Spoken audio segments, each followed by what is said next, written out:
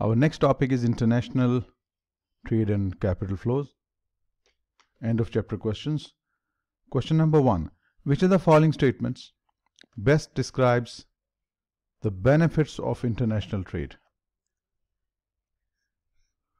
First, countries gain from exchange and specialization. This is very true. This is the benefit of international trade. Countries receive lower prices for their exports and pay higher prices for imports. And this is incorrect.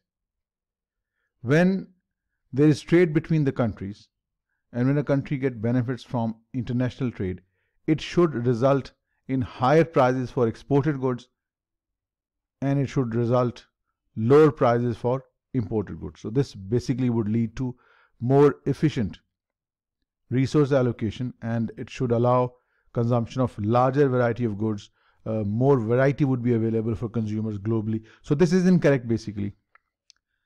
See, absolute advantage is required for a country to benefit from trade in the long term. This is incorrect. Comparative advantage is required, not absolute advantage. So this is also an incorrect statement. So that makes A to be the correct option. Next. Which of the following statements best describes the costs of international trade, or you can say the disadvantage of international trade. A. Countries without an absolute advantage in producing a good cannot benefit significantly from international trade. This is incorrect. You have to have comparative advantage, not absolute advantage. This is the statement itself is incorrect. Neither benefit nor uh, disadvantage or a cost. B. Resources may need to be allocated into or out of an industry, and less efficient companies may be forced to exit in an industry, which in turn may lead to higher unemployment. This is a disadvantage of international trade, and hence it is the cost of international trade. This is true.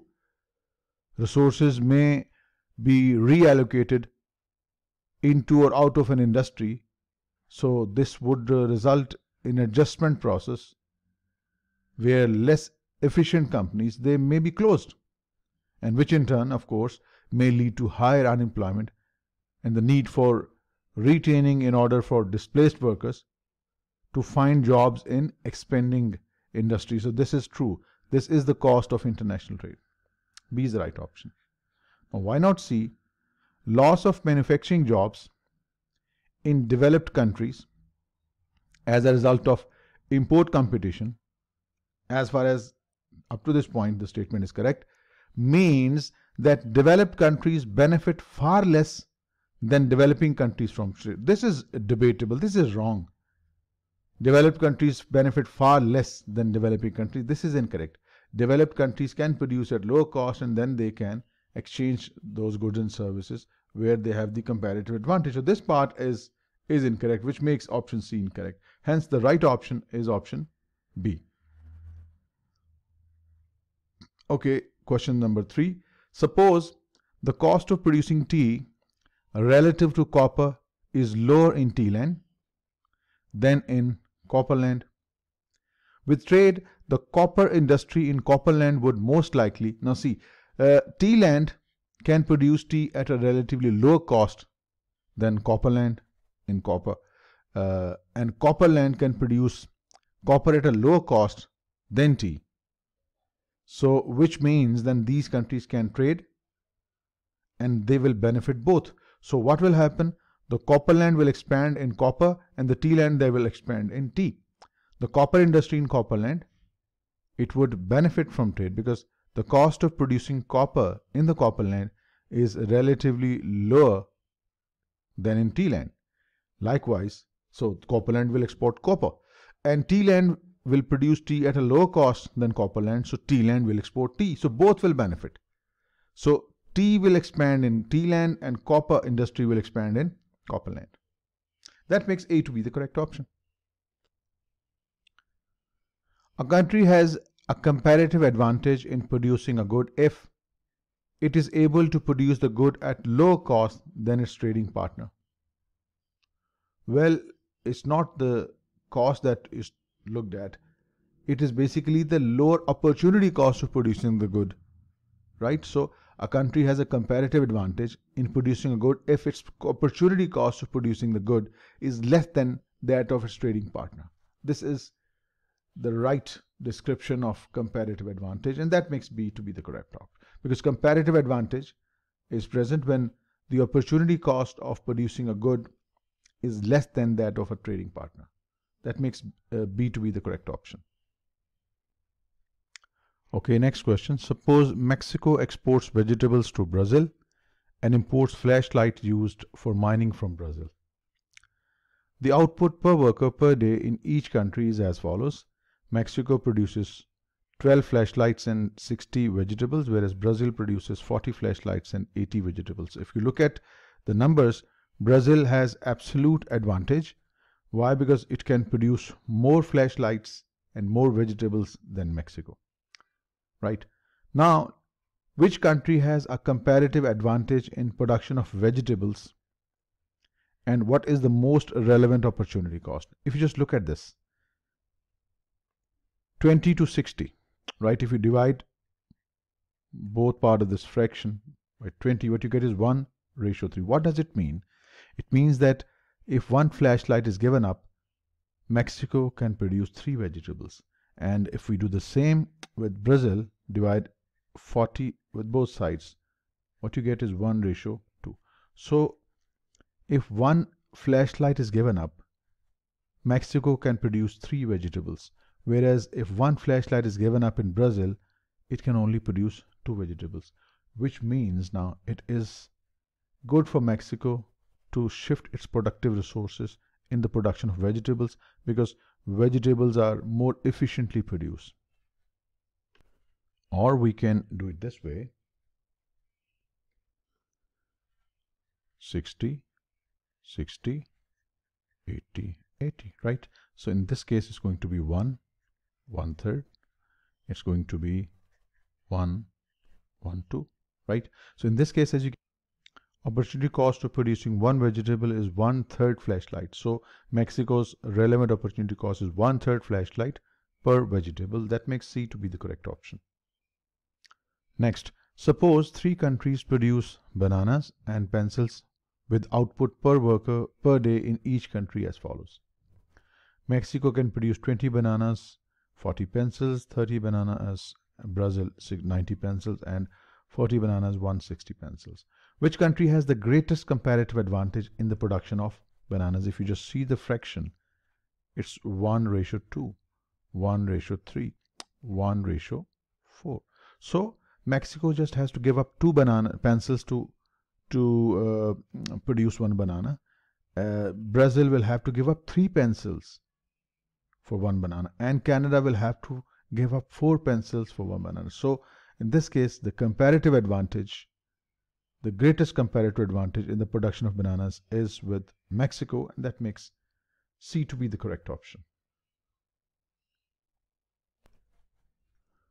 Next question. In the Ricardian trade model, a country captures more of the gains from trade if it produces all products while a trade partner specializes in one good then one there when then what is the benefit there in trade it's incorrect option when the, where is the comparative advantage? B. The terms of trade are closer to its autarkic prices than its partner's autarkic prices. Autarkic prices are the market clearing prices in an economy. The prices are the lowest, just cover the cost of production. So you are selling just at your cost of production, then how would it benefit you? This is incorrect.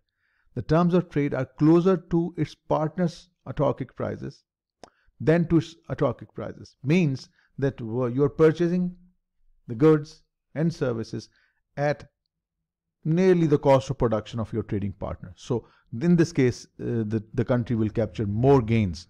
The terms of trade are closer to your partner's market clearing prices than to your own autarkic prices. So that makes C to be the correct option. Germany has uh, much more capital per worker than Portugal means Germany is capital intensive compared to Portugal. In autarky, each country produces and consumes both machine tools and wine. Production of machine tools is relatively capital intensive, for which Germany is a better uh, country, whereas winemaking is labor intensive, for which Portugal is a better country. According to Heckscher-Ohlin model, when trade opens, Germany should export machine tools. Yes, because it is uh, more capital intensive, it has more capital per worker, and Portugal should export wine. That makes perfect sense. Because in Heckscher-Ohlin model, a country has a comparative advantage in goods whose production is intensive in those factors with which it has a relative abundance like capital per worker is higher in Germany, so they should focus on machine, whereas Portugal should then focus on export of wine. That makes A to be the correct option. According to the Heckscher-Ohlin model, when trade opens, we just discussed, the abundant factor gains relative to the scarce factor in each economy. Like in Germany, capital intensity per worker is higher, so capital intensity gains, whereas in Portugal, the labor intensity was in abundance, so it gained. So the abundant factor gains relative to the scarce factor in each country. That is a perfectly straightforward question. That makes B to be the correct option. Which of the trade restrictions would most likely increase domestic government revenue? Clearly, tariff is the custom or the import taxation. Imposition of tariff will increase domestic government revenues. A tariff basically is the tax on imported goods and uh, this is the tax collected by the government means the government's revenue would increase. That's a straightforward question. Next, which of the following trade restrictions is likely to result in the greatest welfare loss for the importing country? a tariff, well, this, this will be a source of revenue for the government. An import quota, restriction of physical quantity in a country. So this will not affect the importing country. But if there is a voluntary export restraint imposed by the exporting country, and resultantly there is an increase in price in the importing country, so the benefit of this will be in favor of exporting country and this would result in a loss, greatest welfare loss for the importing country. So that's, that's C. C is the right option. A large country can, like China, when a country is large, very large, then it can produce whatever it wants. It is big enough to affect the world price of its imports and exports. So such a country can improve its uh, its terms of trade and to uh, to reverse loss arising from inefficient allocation of resources by just imposing tariffs. So that that's A. A is the right answer.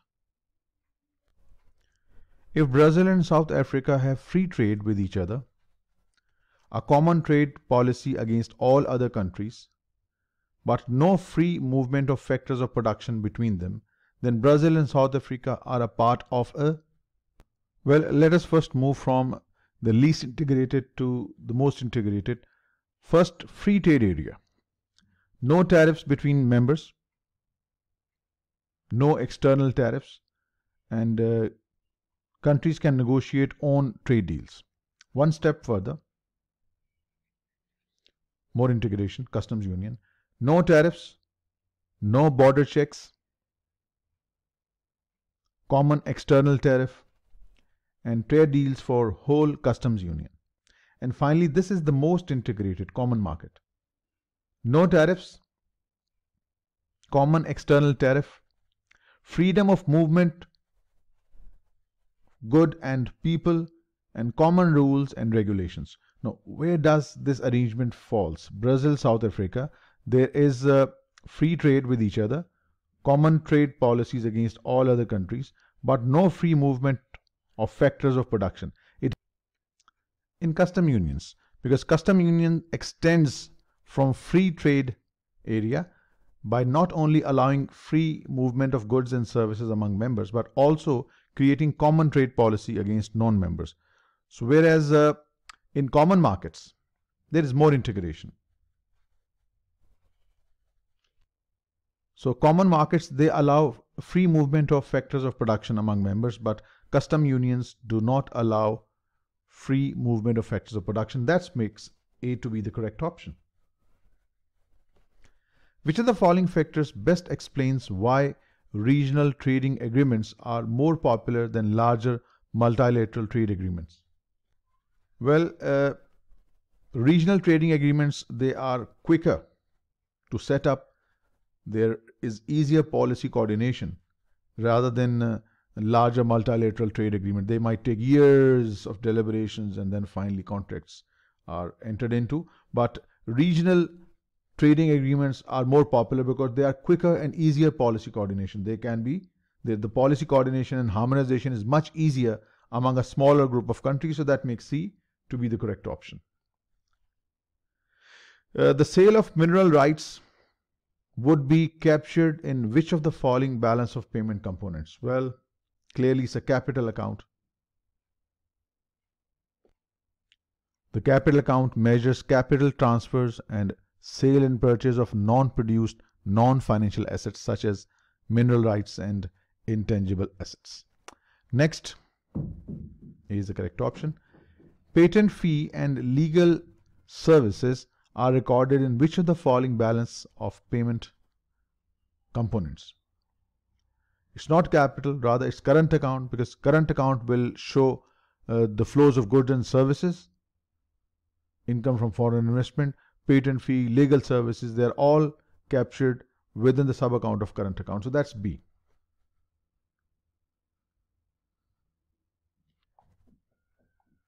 Next question. During the most recent quarter, a steel company in South Korea had the following transactions bought iron ore from Australia for Australian dollars 50 million. Uh, this is clearly reflected in the capital account of the balance of payment. Sold finished goods to United States for US dollar 65 million. This is a component of current account. Borrowed Australian dollar 50 million from a bank in Sydney in Australia this is clearly is a part of financial account. Received US dollar 10 million uh, dividends from US subsidiary. This is a part of your current account and paid Korean 550 million to a Korean shipping company. This is within the country, so it's not reflected on the balance of payment. So, which of the following would be reflected in South Korea's current account? Loan, it's financial. Shipping within the within Korea, so it's it can't be reflected on the balance of payments. So the dividends, yes. Received 10 million dividends from US subsidiary, it's reflected in the current account. That makes C to be the correct option. Next, which of the following most likely contribute to a current account deficit? A current account deficit can arise from three things. First, low private savings high private investment, and a government deficit or any combination of these.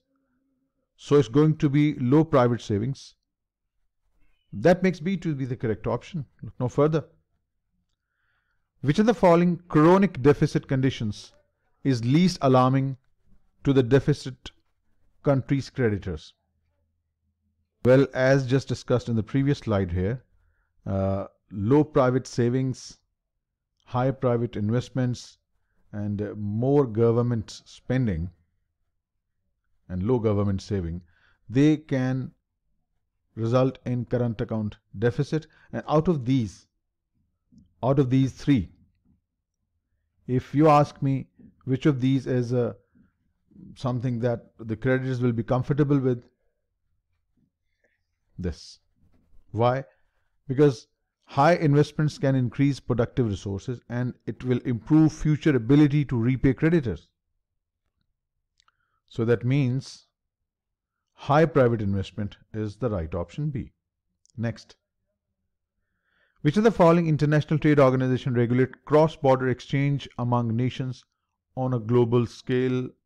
Look no further. This is World Trade Organization. It provides the legal and institutional foundation of the multinational trading system and is the only international organization that regulates cross-border trade relations among nations on a global scale.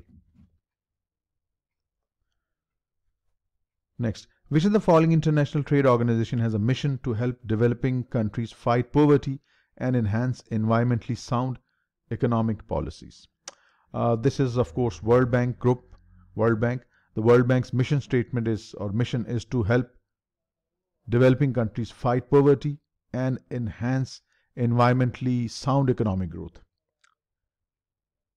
So, how does it work? The World Bank will help to create the basic economic infrastructure, mostly in African countries, essential for creation and maintenance of domestic financial markets and well functioning financial industry in the poorer countries. So that makes A to be the correct option. Which of the following organizations helps to keep global systemic risk under control by preventing contagion, dominoes effect, in scenarios such as 2010 Greek sovereign debt crisis? Well, that's the domain of International Monetary Fund. IMF helps to keep countries' specific market risk and global systemic risk under control. The mission of IMF is to ensure the stability of international monetary system. That's the system of exchange rates and international payments which enable countries to buy goods and services from each other. Then the last question, then your EOCs would be over. C is the right option. Which of the following international trade bodies was the only multilateral body governing international trade from 1948 to 1995? that was General Agreement on Tariff and Trade, that's GATT. It was the only multilateral body governing international trade between this time period and then it was subsequently replaced by the World Trade Organization. So it operated for almost uh, 50 years and then it was replaced by WTO. So that makes C to be the correct option and that ends your reading international trade and capital flows EOCs.